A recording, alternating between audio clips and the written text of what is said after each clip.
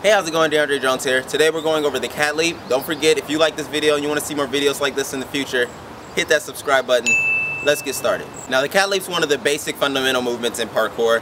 It's very important in case you want to, you know, you're trying to jump to a ledge. You can't necessarily get there, but you know you can get to the wall. It shows you how to safely and securely be able to grab the wall and let yourself back up. Also, if you slip up on a precision or something like that and you can't quite stick it and you start to fall backwards, you can instead drop down into the leap position and I'll show you that as well. But um, this move is very important. You know, it's a very, it's a fundamental move, but a lot of people get it wrong and a lot of people hurt themselves doing it. They hurt their ankles, their hands, and there's just a couple key, um, key principles to this movement that will make sure that you're safe. Okay, so it's important when you're starting out that you find a ledge that's not that far that you can definitely make without trying. Um, the reason that is because you just want to, you know, rework the technique and rework uh, the basic form of the cat leap and just start with baby steps. Now, um, most people might not notice, but the cat leap is very similar to the precision. Just like the precision, you swing your arms forward, your body weight leans forward as you jump, but as you land, you pull your body weight back and allow your feet to touch the ledge. But instead of touching the ledge, since we can't make it, we're touching the wall.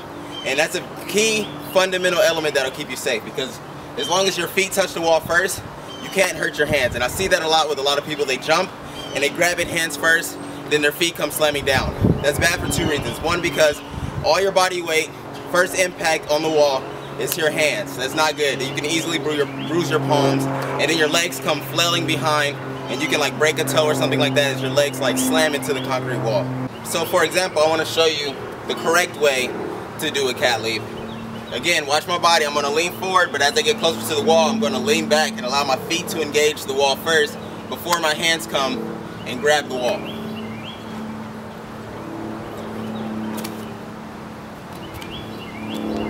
Now I want to show you a bad example of how to do a cat leap. Again, like I said earlier, I'm going to allow my hands to touch the wall first before my feet, absorbing most of my impact, and then allowing my feet to just slam into the wall, which is, you know, completely unsafe. But here's an example.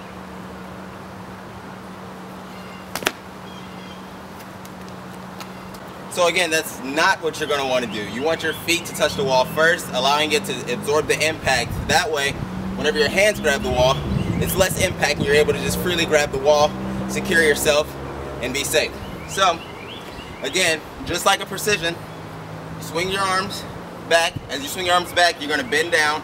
And as you swing your arms forward, just like a precision, you're going to jump forward, put all your body weight, your top half of your body weight in front of you, but as you land, you want to lean back to allow your, your legs to absorb the wall before your hands. And the reason why we want to lean back is just because as we're leaning back, your, your feet are for sure going to touch the wall before your hands. Your, your legs are longer than your arms, at least for most people. So um, you're going to want to jump, lean back, allow your feet to take that shock into the wall, preferably together. A lot of people, when they jump into it, they jump and they're either scared or something and they let one foot grab the wall, and then your both your hands follow.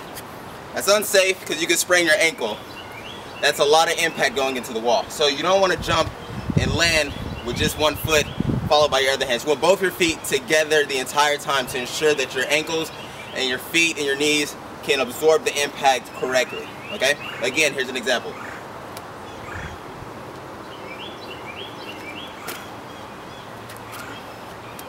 Okay, so once we understand the basic mechanics of a cat leap and how to go into one safely, next you're going to want to work on jumping into a cat leap from standing on top of a ledge. And the reason why is because if you can imagine jumping to a precision, being able to get your feet on top of it, but not being able to quite get your body weight on top of the on top of the wall, so you instead you fall back, you're going to want to push off and jump down into the cat leap position. Now it's a little bit different and it's kind of situational depending on the precision or the jump or whatever but I want to show you an example of how you can practice that so that way in the future if you ever go for a precision jump you can't quite make it you can safely drop down into a cat leap and it makes it a lot easier for you to just go for precisions and just go for jumps that are, are pretty big because you know you have a safer way to get out of it.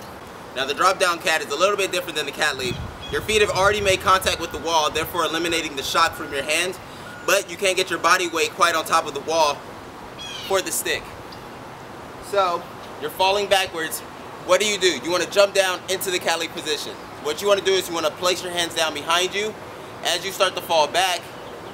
And when your body weight falls falls back, you're able to put your feet onto the wall and safely climb down into the leap position. This is what it's gonna look like. Boom. Try to stick. Oh no, I can't make it. Ugh. Boom. Easy. Very easy to do, yet very important, and it'll keep you safe in the long run. I would just um, recommend finding a ledge similar to that height and just practice dropping down into the cat leap position from that ledge. From there, you want to find maybe a precision um, between two walls that you're able to do the precision, but purposely not completely make it. That way you can practice dropping down into the cat. You can drill that that muscle memory in your mind that way if ever an emergency situation comes and you have to do that you will be able to do it without thinking. With that that's going to end the cat leap tutorial. Um, if you like this video don't forget to hit the like button. Subscribe if you're new here. Comment down below if you want to see a tutorial and I can do it. I'm definitely going to teach it to you. And um, peace